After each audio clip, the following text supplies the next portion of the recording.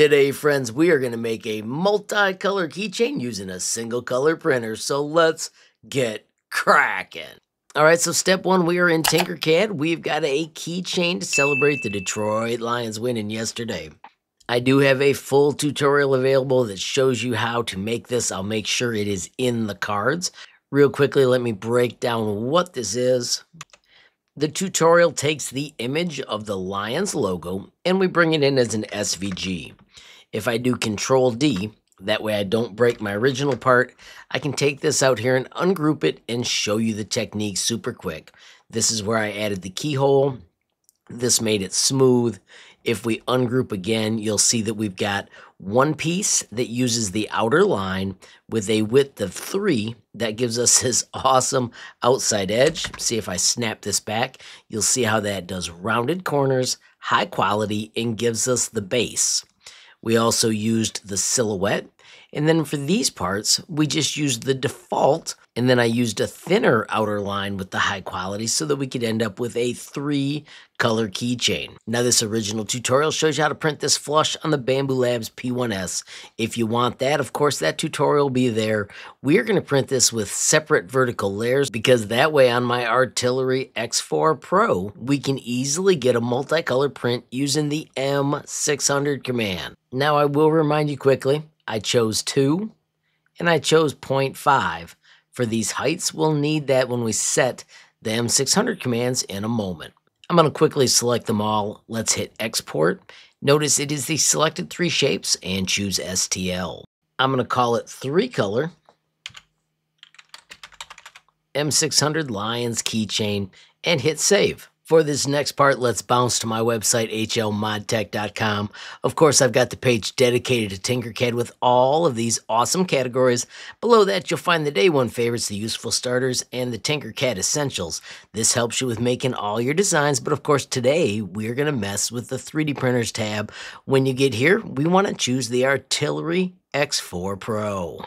Of course, you can find how to assemble it, smart steps for a first print, and that firmware update. This will be the full playlist, but today we're going to zip out to the Artillery website. Of course, if you check the store, you can find deals on the X4 Plus and the X4 Pro, but we want to go to support and we want to go to downloads. This is where you can find the Orca Slicer link. We're using 2.2. It includes the M600, which makes this work, this is the default setting folder, and this is the tutorial for setting up.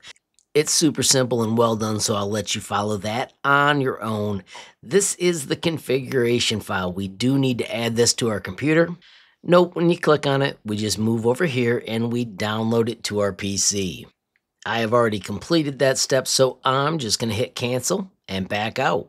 Once it is downloaded, we do need to extract it. Notice I have moved to my downloads folders. This is that Artillery XW4 Pro. I'm to right click and choose extract all and simply hit extract. Notice I've already done it, so I'm just to skip it this time. Now that it's extracted, I'm to close that. With it extracted, we can launch Orca Slicer and we can get that configuration file set up. When you first launch Orca Slicer, it lets you add your printers, I'm going to quickly power up the 3D printer. That way we'll be able to connect to it in a moment. While I wait for it to boot, let's get our project started. So I'm going to hit Create New Project. Now once loaded, we need to click on our printer. I've got my Sidewinder X4 Pro. Type in the URL, which you can get from the printer screen. Once you have it connected, we can bounce to that device menu. I'm going to hit refresh. Bingo, there it is. Now we need to update that configuration file. We're going to do it by going right here to configuration. And we're going to take this file right here, the printer configuration, and we're going to rename it. I'm going to just label this one old, and I'm going to hit save so that I can still get back at it. Now we are going to add the file we want to put there. Here is that X4 Pro folder. This is that configuration file. We are going to open it and we're going to right click on it and we're going to rename it printer config and save it. And then we also need to edit it. I don't have the time lapse, so I'm going to just backspace and delete it, and I'm going to hit save and restart. If we bounce back to the home page, Bingo, 3D printer is ready. So while the printer is rebooting, let's back up to prepare. Friends, it's time to get it loaded. Let me show you a few things. First, here's our file, import it. Notice it did have some non-manifold edges. We're simply going to hit repair and let it fix that super quick. It only takes a moment, and most times you'll never even notice what changed. Now, the M600 command works on layer height. My current layer height is 0.2. That means our layers, I'll show you this real quickly, because I had it set at 0.2 layers. Our keychain base went 2 millimeters high so we've got to go from 2 to 2.2 before we switch colors. This is where, if you're patient, you can make your design turn out a little cooler by giving yourself more layers to play with. I'm going to switch with 0.12. Once again, we hit slice plate. And now, in between those switches, I can go down to 2. So that is where the top finishes. And then I'm going to go up one chunk, so it'd be 2.12 when it switches to the next color. I'm going to right click. I'm going to add the custom G code. We need to add an M. I'm going to do capital M 600 and hit OK. Now I wanted that to continue until the 2.5 layer. So I'm going to go up and the next one would be 2.6.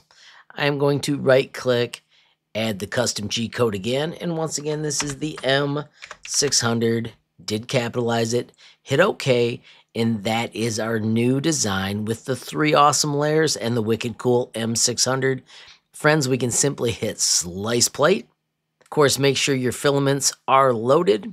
I have already done that, and we can now hit print and upload to the 3D printer. After a moment, it switches to the device menu, and let's make something magical. Friends, this is the base printing. I have sped up the video, and I've also dubbed the audio on top with that M600 command connected, the printer will beep and it'll pause so we can swap the filament. Once the screen appears, we can simply click the unload button.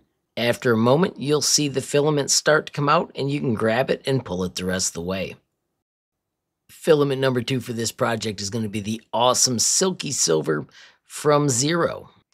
Here I'm going to quickly finish removing the black and we can simply grab the second reel, put it in place, and of course pass the filament through the filament sensor.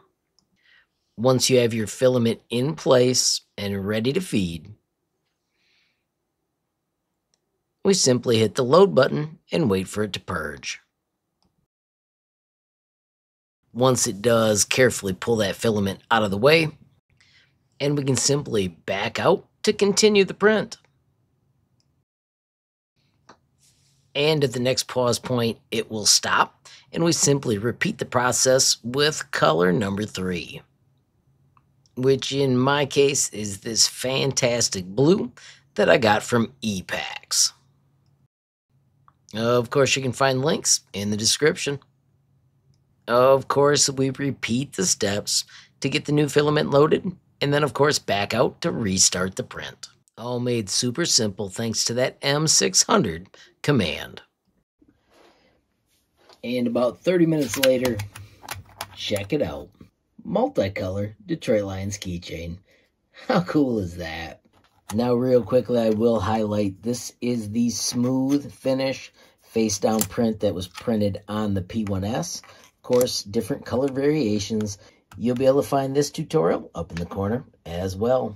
Friends, real quickly, let's wrap up. Of course, the Tinkercad tutorials will be listed above. There is also a firmware tutorial for how to get your X4 Pro updated. Don't forget, if you check out the Artillery website, they're running deals right now.